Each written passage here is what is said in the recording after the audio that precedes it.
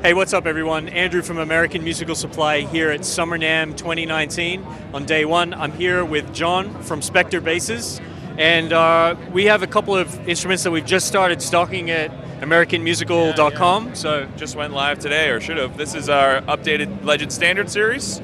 So, doing a couple of things differently here for 2019. Uh, starting with a flame maple top. Bodies are now ash. Uh, of course, we have the famous Spector shape here fully curved. Um, upgraded the hardware as well, so you get a professional locking bridge here with the chrome tuners. Uh, new two-band EQ, active circuit, new uh, newly voiced pickups as well. Uh, we're doing a five-piece neck on here as well, which looks nice, but also adds some really nice stability. Keeps the neck nice and straight, get the action nice and low. 24 fret fingerboard, uh, just classic Spector stuff, but at a really great price point. So these are 549, Okay. 599 for the five Okay. string. I don't know, five string is 599. Yeah, exactly. Yep. Okay. All right, great. And Zach's uh, going to play a little bit for us. Zach, let us hear how it sounds. Okay.